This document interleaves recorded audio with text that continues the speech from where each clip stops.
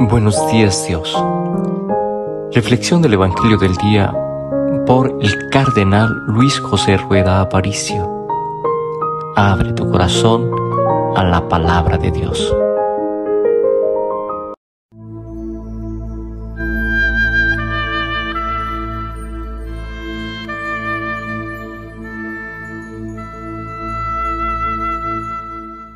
Señor, tú escuchas los deseos de los humildes, les prestas oído y los animas, tú defiendes al huérfano y al desvalido. En el nombre del Padre y del Hijo y del Espíritu Santo. Amén.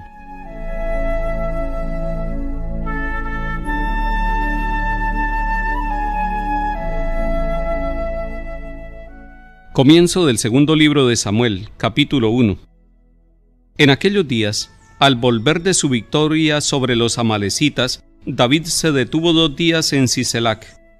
Al tercer día de la muerte de Saúl, llegó uno del ejército con la ropa hecha jirones y polvo en la cabeza.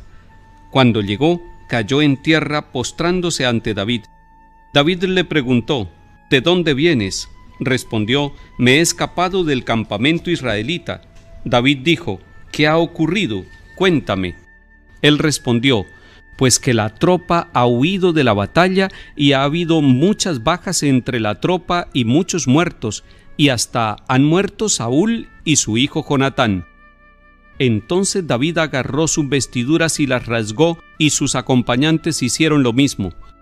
Hicieron duelo, lloraron y ayunaron hasta el atardecer por Saúl y por su hijo Jonatán, por el pueblo del Señor, por la casa de Israel, porque habían muerto a espada.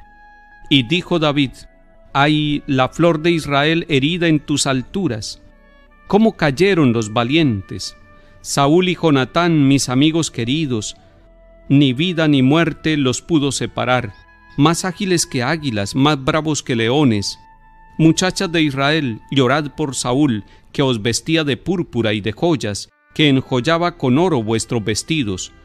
Cómo cayeron los valientes en medio del combate, Jonatán, herido en tus alturas. ¿Cómo sufro por ti, Jonatán, hermano mío? Ay, cómo te quería. Tu amor era para mí más maravilloso que el amor de mujeres. Cómo cayeron los valientes, los rayos de la guerra perecieron. Palabra de Dios. Te alabamos, Señor.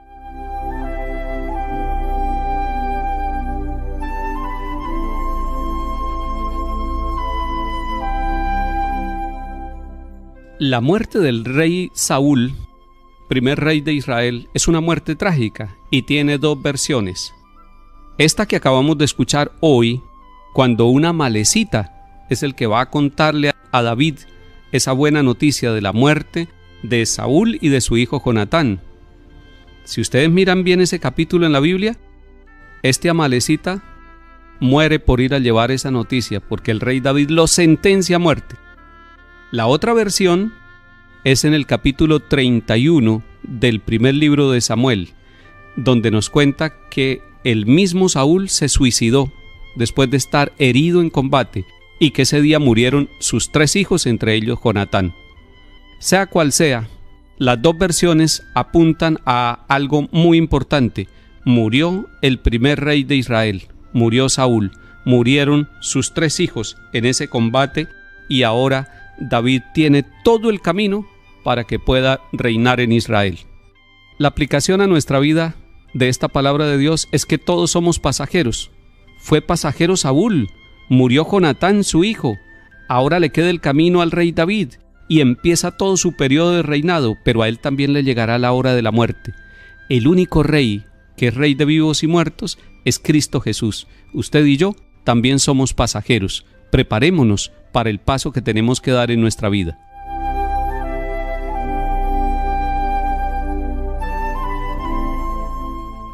Salmo 79 Pastor de Israel, escucha, tú que guías a José como a un rebaño, tú que te sientas sobre querubines resplandece ante Efraín, Benjamín y Manasés, despierta tu poder y ven a salvarnos.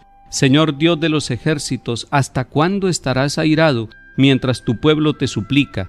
le diste a comer llanto, a beber lágrimas a tragos, nos entregaste a las contiendas de nuestros vecinos, nuestros enemigos se burlan de nosotros.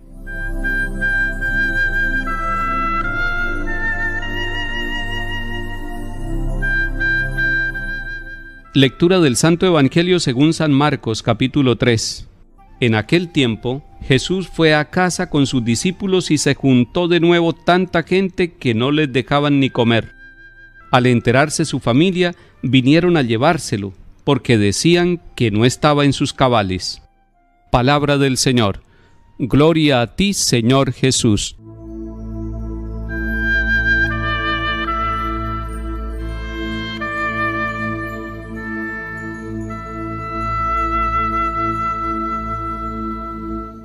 El Evangelio del día de hoy nos muestra a Jesús en casa con sus discípulos.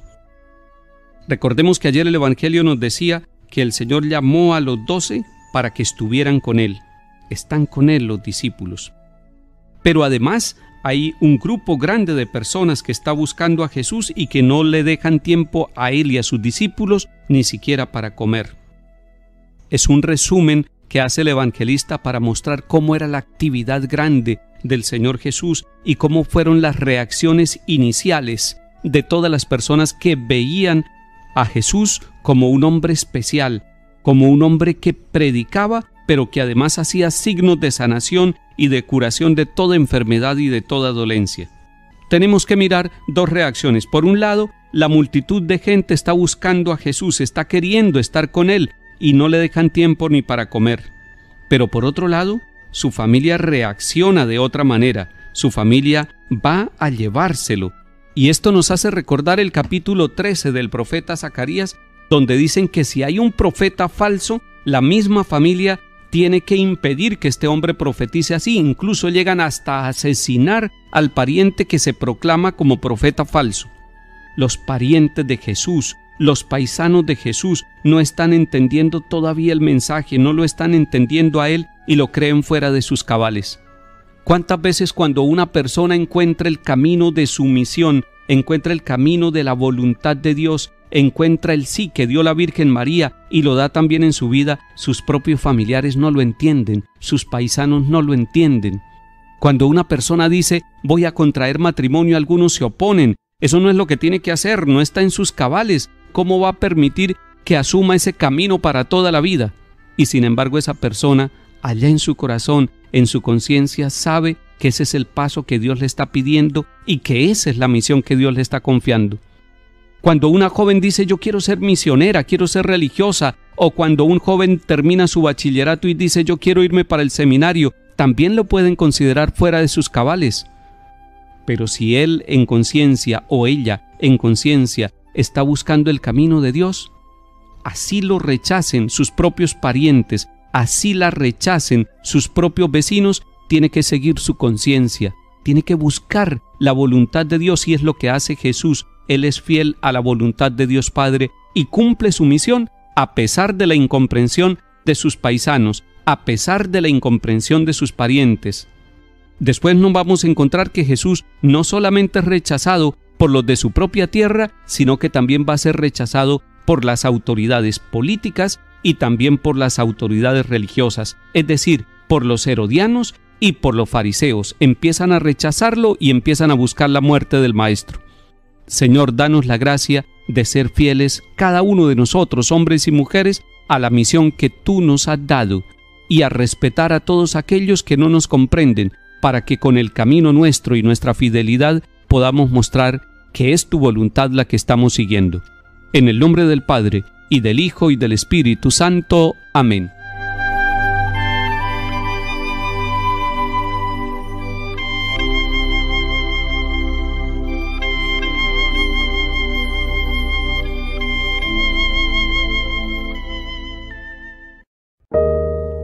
Buenos días Dios.